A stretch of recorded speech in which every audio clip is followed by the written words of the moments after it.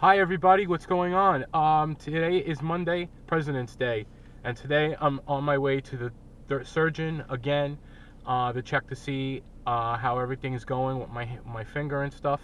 It's been two weeks already, and um, again I don't remember what day it is, and I'll put the day in here when I start to edit the video.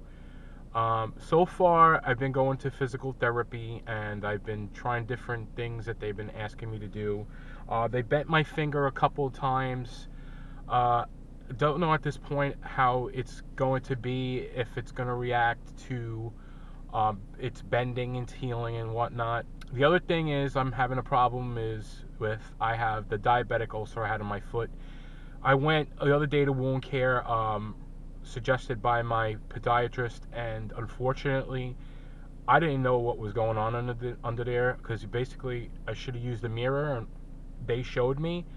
It was bad. It was the most horriblest thing I ever seen. I didn't even think it was that worse that than what it was. So um, I'm wearing um, this shoe with Velcro that they gave me. It's like blue, and then I have to get measured for a boot uh, this week at the podiatrist uh, surgeon. Um, and then I have to go back to wound care and I have to check to see how, how I'm doing. I'm going to take care of it and I'm just praying to God that, you know, I just get healed and, you know, I lost 10 pounds on the keto diet now and I'm very happy about that. Um, they weighed me and I was 262. And yeah, I'm not 272. I don't understand how, how heavy I am. My body's proportionate, so I, I think, you know, it just, that's how it, you know, is. Hey guys, well, he just came out of the appointment, and uh, doctor says uh, he checked my finger. Uh, he asked me to bend it as he held it back. He says it's looking pretty good, so I'm not wearing the cast anymore. Thank God. I hate to like really rush things. He says put some lotion on it. I've and I said to myself, I said I have never seen my hand ever dry like this in my life, at all. Um, he says I can wash it now, um, but I can't go like this with it. I can't clutch my fist. He says I can go and hold my fingers down as um, as an exercise, all of them down and then we'll just go from there and keep doing physical therapy. He wrote me another script, I guess more advanced stuff to do. He said within two to, to the two weeks, we don't want to push uh, anything because that can cause rupture. When you get to four weeks, you healed a little more, and then you could start, you know, little by little doing the things in order to get it back to what it is. So, I have a three. I have an appointment in three weeks, two to three weeks to see him to see how I'm progressing as well. I'm really happy. I feel good, but again, I can't make sure I can't, you know, clutch uh, clutch my hand like this. Or he even said not to get it caught on anything. So I have to be careful. I'm not going to pick up stuff really like I was. And um, that's it. I know it looks really bad. That's the all the uh, the healing from the uh, what's that called? All the scabs from the stitches and stuff like that. It's going to take a while to heal. And maybe a diabetic doesn't help that, just like my foot. That I'm a little nervous and scared about. Because um, a lot of times it doesn't heal properly. And, uh, you know, you have to worry about those things. Well, um, as you remember, I took this off and stuff like that. You know, they took off the splint so I'm doing, I went to therapy yesterday and they started working on, you know, uh, the uh, tendon here. It looks like it's like it almost did when I rupt, when I when I cut the tendon, but that's because there's a lot of scar tissue, and it has to be worked out. Now, I mean, I can bend my finger. I'm gonna show. Um, I have to do exercises. Some are bringing this down. I have to hold it a bit. Uh, some is hold it here and lift up 10 times, but I gotta use my other hand. And then rest. And then, of course, doing this down to here, and you know, this going like that, to, you know, to bring it.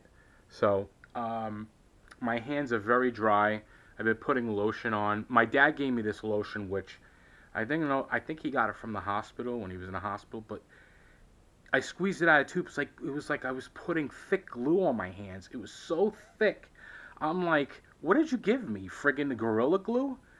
You know, my father's always trying to, you know, trying to help me out, but he don't realize some of the stuff, the product is old and it doesn't, you know, it's not good. So he's giving me this stuff and it's like, like you're giving me like gorilla glue. I said I'm surprised I'm, I'm not my hands are not st- stuck to each other. You know, so you know, I mean, he tries. Um, but you know, like I said, it looks, you know, where it's supposed to be, I guess. And even uh, the surgeon actually checked the weight, you know, my finger too, and he made me move it, you know, and he said it's starting to look, it's looking okay, good, you know, it's starting to look the way it's supposed to. But of course, you know, I'm always saying, oh, I hope I don't rupture it and stuff like that. Oh, it's not healing or it's taking too long.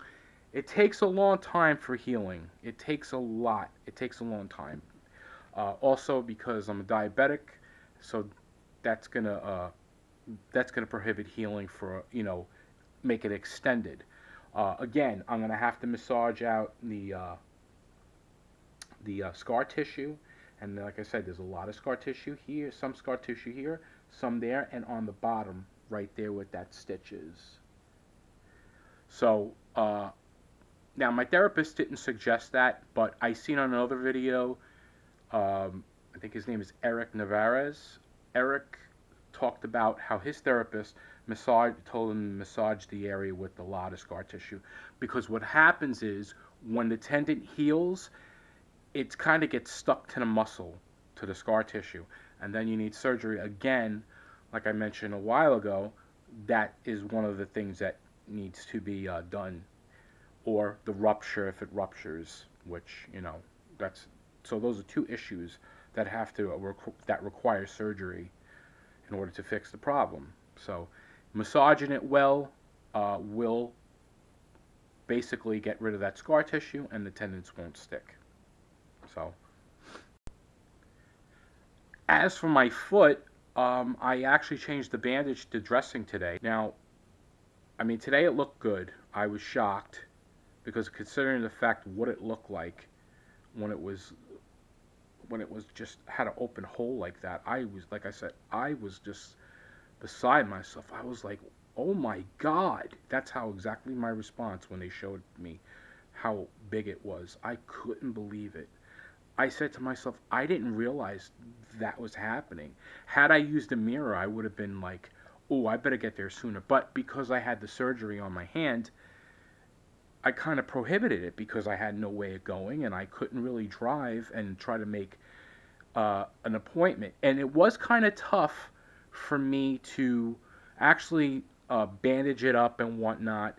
Uh, my podiatrist said to soak it. I was told not to. And I said to them, I said to the wound care, I said, you know something? I was thinking about that. I was thinking about bacteria. And the nurse said, exactly. You're exactly right. There are bacteria that can come from the, uh, the, the fount, even the spout, and also whatever is in the basin if it's not washed properly. So, especially how bad a wound is like this on the foot, it could um, be a recipe for disaster. So, that's something that they told me not to do.